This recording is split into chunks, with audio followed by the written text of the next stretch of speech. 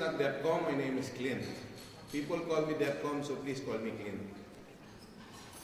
It's fairly a common impression that tax matters are usually the purview of the company's chief finance officer, vice president for finance, or some such top manager who handles the finances of a corporation.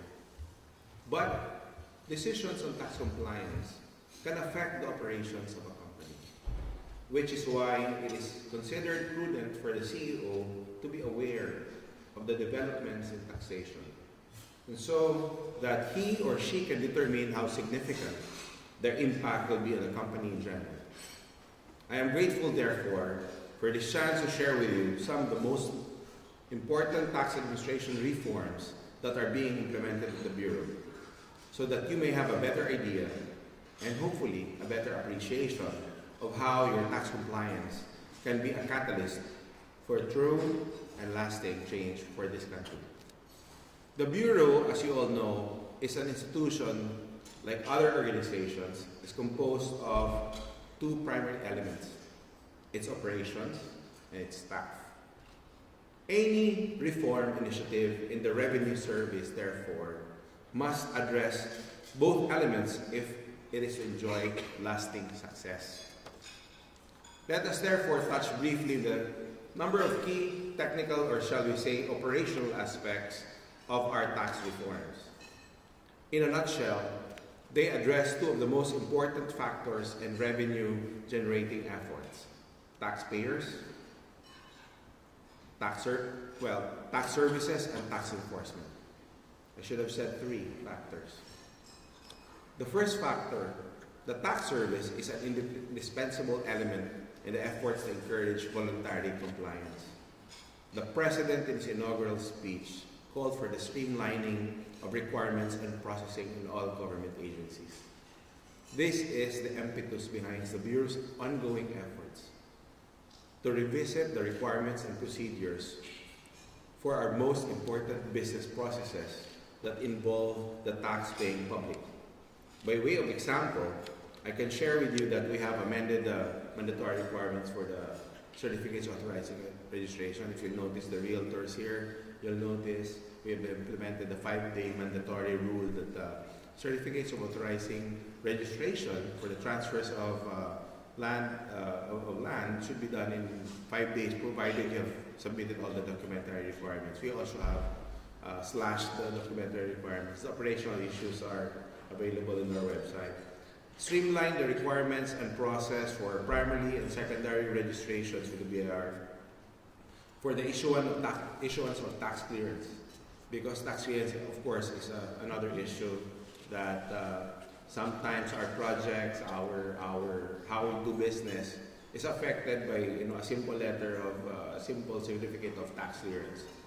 Amended the guidelines for the issuance of the international carriers special certificate in the international carriers general certificate and amended the guidelines and procedures for the issuance of the importers clearance certificates, brokers clearance certificates, and uh, what I, you know, I was unable to write here, there's so many issuances actually now from the Bureau. The recent one is the, the issuance on um, uh, ODA projects. Another issuance is the issuance of claims for refund that have um, failed to be brought to uh, the courts due to the deemed denied mandatory 120-day period. I know, I'm sure you're very familiar if you have pending claims for refund. The Bureau is in the process of re reviewing our tax forms to identify those who, where amendments are necessary in order to ease the burden of tax compliance. The ease with which a tax form can be accomplished should never be underestimated as an important factor in encouraging the public to comply with their tax obligations. I've been a tax lawyer for 23 years, and I, I must admit to you, I would request uh, uh, a very good tax compliance person to fill up my tax forms because I find it really beyond my comprehension sometimes to, to, to fill it out casually. Collection and enforcement, however, are also key factors in success in the success of our efforts to generate revenues. To this end, I can share with you two more significant endeavors in these aspects of our operations. Is the first is the expansion of the compromise settlement program. You can ask questions later. Through this undertaking, we want to encourage taxpayers with delinquent accounts to settle their obligations with the Bureau. Litigating a deficiency assessment case is time-consuming, costly effort, and we would like to offer taxpayers with such cases an avenue through which they can resolve these matters with the Bureau and contribute further to the government's revenues. Our second effort is admittedly a rather more disciplinary undertaking which entails the continuance of the run after the tax evaders program and our benchmarking project.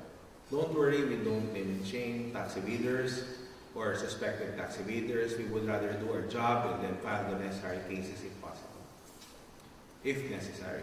The RATE program, as you all know, seeks to prosecute and bring to justice tax evaders. In many ways, the crime of tax evasion seriously undermines our country's economic development and is a betrayal of our civic duty because tax evaders takes advantage of the services delivered by government well, we try to deliver our, our service, don't we? Um, and thereby earn profits or income from their enterprises. Even as they willfully violate the tax code and turn their backs on their duty, to support the very same economic programs from which they benefit. This is in itself a form of corruption that we must do our best to eradicate. Another development that I would like to share with you is uh, the expansion of the Bureau's investigation into the tax use of fixed, of stamps on some industries, on an industry, where the initially uh, the investigation was called, was uh, initiated against one cigarette manufacturer, and which I found, uh, if you are to get to the bottom of this, I, I, I recently submitted for the commissioner's signature letters of authority, requesting for letters of authority to other companies. It is only fair that all players in the particular segment of the industry must be urged to faithfully comply with the country's tax laws. These and many other operational and legal efforts are being undertaken by the Bureau so that we may better fulfill our responsibilities to the people. But the Bureau, as I noted earlier, is composed of both processes and people. And we are of the firm belief that improvements in the business process must be complemented by efforts to improve employee satisfaction in the revenue service. For many years, the men and women of the Revenue Service have labored under the public impression that the Bureau, the Bureau is irredeemably a corrupt institution. I am here to tell you that this impression is a profound injustice to hundreds of revenuers who work long hours for very meager salaries. Let me give you an example. The starting salary, excluding deductions, such as income taxes, GSIS contributions, of an accountant at the Bureau who holds the item of accountant 1 is 21,000 pesos. At the SEC, an employee holding same is at 50,000. More than half, more, more than half what an, a CPA in the Bureau receives. Actually, the lowest pay grade of, in, in the Bureau is 9,000 pesos. I don't know if our if expats can understand how you can survive with 9,000 pesos if you translate to dollars. Our entry level for a CPA is around at net at 14,000 pesos. And of course, as a lawyer, I would need to mention the entry level of a lawyer.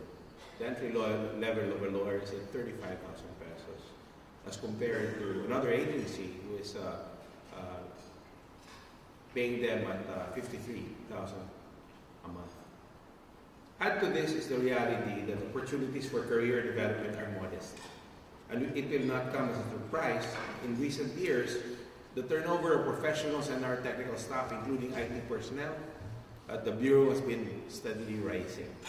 No one can blame them for seeking greener pastures to support themselves and their families, for the alternative would be to resort to resort because the alternative would be to resort to corrupt practices in order to earn enough to meet their families' needs. In many ways, the meager salaries and lack of incentives constitute one of the primary causes of graft and corruption at the Bureau. And while it is true that the disciplinary sanctions do have an impact in curbing these twin scourges, it is also true that a positive approach to encouraging integrity and professionalism is always the more preferable and indeed the more humane option. A compensation scheme that affords revenuers with financial security, professional dignity will surely be an instrument, would surely be instrumental in encouraging them to resist the temptations of corruption. This is the impetus behind the Bureau, Bureau's effort to secure an exemption from the salary standardization law so that a truly competitive compensation and benefits package may be created for the men and women of the Revenue Service. Such a compensation schedule would recognize the reality that tax administration is a highly specialized field of discipline and that one and one that is indispensable to the economic development of this state. This is the reason why the government, the governments of the most economically advanced countries in Asia, such as Japan, Malaysia, and Singapore, pay the highest salaries to the officials and staff of their tax agencies. We in the Bureau hope to do the same in the near future so that our own tax agency may be truly at par with our neighbors and those who serve in one of the most challenging fields of governance may have the support and recognition that their profession deserves. The road of the, the Bureau ahead for the Bureau is truly an exciting one. I speak for my fellow revenuers when I say that I hope we can look to you, the top executives and the decision makers of the great corporate giants of the Philippines and Asia for support in this great journey of reform and transformation in the revenue service. The President has called us all to join him in his mission to institute meaningful change in our society. Let us join him in this historic endeavor and together seek out a new, more and more prosperous and more peaceful future, a real life of dignity for our people. Thank you and good morning. Mabuhay ang Pilipinas.